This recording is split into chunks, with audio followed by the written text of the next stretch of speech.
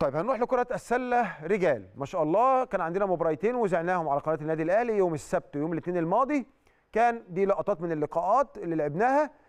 آه، ده الماتش الماتش الثاني سلم أولية باللي حطه إيهاب أمين ده كان أول لعبة في المباراة. آه، فزنا في المباراتين مستر أجوستي بوش طبعا اللعيبة بتتمرن مفيش راحة. المباراة الثالثة إمتى؟ بكرة. المباراة الثالثة هتكون على صالة المقاولين العرب. إن شاء الله غدا وهنقول لحضراتكم أكيد نتيجتها أو هتعرفوها من خلال آه، آه، زملائي اللي هيكونوا موجودين طبعا آه، في القناة. طيب هنتكلم عن مباراة الثالثه، طب النتيجة كام؟ النتيجة 2-0 لينا دلوقتي. طب أنا لازم أكون 2-0 2-0 في الجيمات. بنلعب best of five.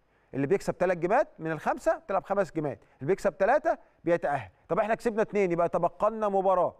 نفوز بالمباراة القادمة إن شاء الله نتأهل لدور قبل النهائي لملاقاة مين بقى بنسبة كبيرة؟ الجزيرة. الجزيرة عاملة إيه في الآخر؟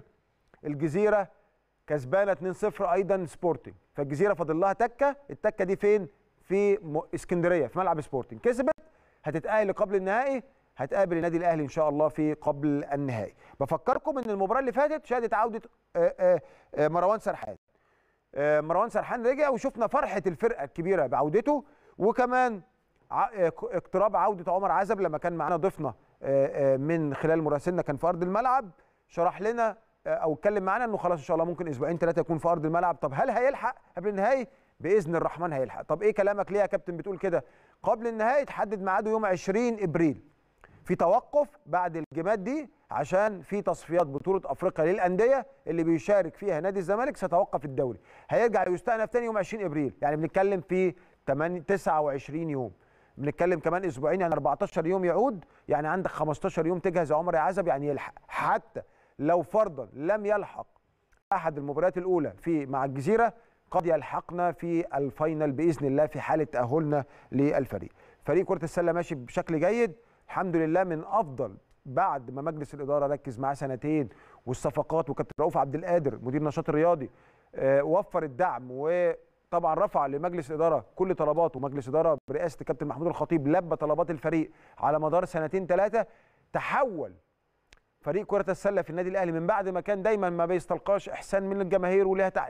مش هنضحك على بعض. ولكن تحول الحمد لله الحمد لله بمجهود الجميع وإخلاص الجميع لواحد من أفضل الفرق الجماعية في النادي الأهلي الآن. إن شاء الله نتمنى له الفوز في دوري السوبر لأن إحنا لينا هدف أبعد، أنا مش عايز أسبق الأحداث يا رب ما بحبش دايما أسبق، ما بحبش دايما أتكلم عن اللي بعده، ولكن عندنا هدف كبير ألا وهو أفريقيا. عايزين نرجع بطولة أفريقيا تاني اللي غايبة عنا من سنة 2016 آه، ديسمبر 2016 آخر لقب أفريقي دخل النادي الأهلي. منتظرين النادي الأهلي يستحق. والمناسبه عايز اخد في حاجة تانية تخص كرة السلة. كنا اتكلمنا في آه، آه، الاستوديو التحليلي اللي قبل المباراة اللي قبل المباراة مباراة ال- الأهلي والاتحاد final كاس عن ألقاب كأس مصر. ركزوا معايا الكلام ده عشان حصل جديد.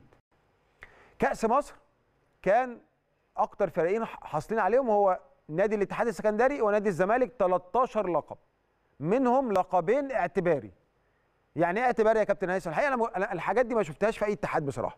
بس آه، آه، يعني نادرا لما بيقول لك إيه أصل البطولة اتلغت النهارده وهنديها اعتباري اللي حامل اللقب السنة اللي فاتت. يعني ما أعرفش أنا مش مقتنع بدي. بس قلنا يلا ماشي. طالما يعني الاتحاد السله خلاص هنقول إيه؟ ولكن الاتحاد راجع نفسه. وده حقيقة موقف محمود. مش عشان جه لصالح يعني إحنا ما إحنا مالناش يعني إحنا مالناش ولا إحنا اتلغينا لقب. يعني بس عشان تبقوا أنتوا عارفين إحنا اتلغينا لقب. بس هنقول إيه؟ إحنا نقول إن دي حاجة محمودة. إن الاتحاد يراجع نفسه؟ يا جماعة والله آه، آه، أنا شايف إن مفيش حاجة اسمها آه، ألقاب اعتبارية. فاحنا دلوقتي بقينا تسع ألقاب صح؟ إحنا 10 ألقاب. إحنا 10 ألقاب. نادي آه بطل بطل بطل الكاس السنة دي إحنا فاحنا 10 ألقاب. نادي الزمالك ونادي الاتحاد لما اتلغى اللقبين الاعتباري نزلوا بقوا 11 لقب. يعني النادي الأهلي يبعد لقب واحد عن تصدر أو مساواته مع الفرق الأخرى عشان يبقى من أكتر الفرق اللي حصل على كأس مصر. وهل من العقل هل من العقل لو كاس مصر لأي ظرف من الظروف زي مثلا بعد الشر يا رب وربنا لا يعيدها أيام زي ما حصل في كورونا.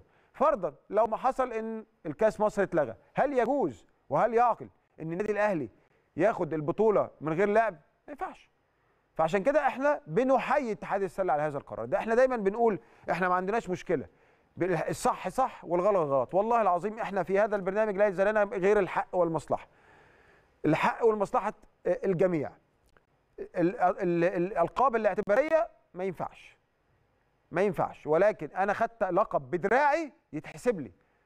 آه، آه، الموسم ما اتعملش فول داون للموسم ده كأنه مش موجود. وده الحق الطبيعي. اذا رجعنا تاني.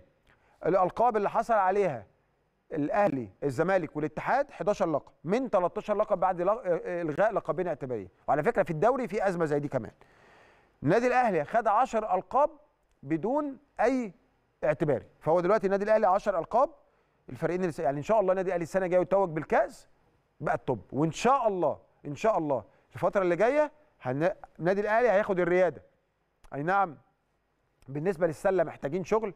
أنا أشرف إن أنا حامل أحد ألقاب بطولة الدوري مع النادي الأهلي. أي نعم ألقاب ليست كثيرة زي الكأس مش 10 هم تقريبا أربعة وخمس ألقاب ولكن أربعة صح؟ أر... خمس ألقاب. ليا الشرف الحمد لله رب العالمين أنا حاصل على لقب واحد منهم وأيضا ليا الشرف إن أنا حاصل على لقب كأس من 10 كؤوس دي أتمنى إن الخمس ألقاب يبقوا 50 لقب في كرة السلة وهو ده ما يستحقه النادي الأهلي. النادي الأهلي بيشتغل النادي الأهلي بي- بيبذل مجهود بيلتزم بالقوانين واللوائح عنده قطاع ناشئين قوي. النادي الأهلي يستحق إنه يتصدر آه، زي الطايرة آه، آه، زي اليد. إحنا أكتر فرقة حصولا على الدوري العام المصري. نتمنى إن شاء الله كرة السلة وإحنا إن شاء الله ماشيين على طريق الصحيح. معلش أنا بسترسل في بعض الأمور المهمة اللي مش هتسمعوها في برنامج آه، آخر ممكن يكلمكم بهذه التفاصيل.